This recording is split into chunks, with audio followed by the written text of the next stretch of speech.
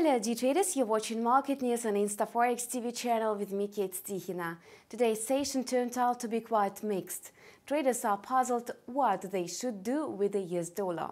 First of all, investor sentiment is rather positive as the US-China trade conflict is anticipated to be resolved soon. Traders believe Washington is to cancel its tariffs on China's imports. These expectations return to risk appetite as well as confidence in growth of the global economy. Nevertheless, market players should keep in mind the threat of another trade war, this time with the European Union. However, investors are not focused on it right now as there are a lot of other factors influencing the market sentiment. The outcome of the European Central Bank's meeting did not stay unnoticed. This, uh, the euro-dollar pair resumed its downward movement. The trading instrument finished the European session near 1.1240.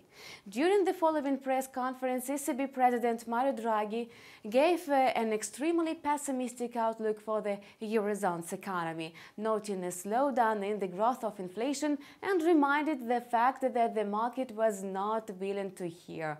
The European economy still needed major stimulus measures. In this context, the patient approach of the Federal Reserve appeals investors better. At least the US Central Bank maintains higher interest rates than other global banks. Besides, the US rate setting committee expresses more hawkish rhetoric than the ECB. Bearing this in mind, traders are anticipating the minutes of the March policy meeting of the Federal Reserve. The minutes are due at 6 p.m. GMT. Today, investors cheered uh, an inflation report for March from the United States as it proves that the US economy is much stronger than assessed by the Federal Reserve.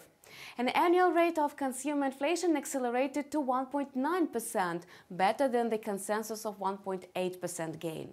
The upbeat macroeconomic data enabled the US currency to regain losses in incurred earlier this week. As a result, the US dollar index surged sharply to 97.20.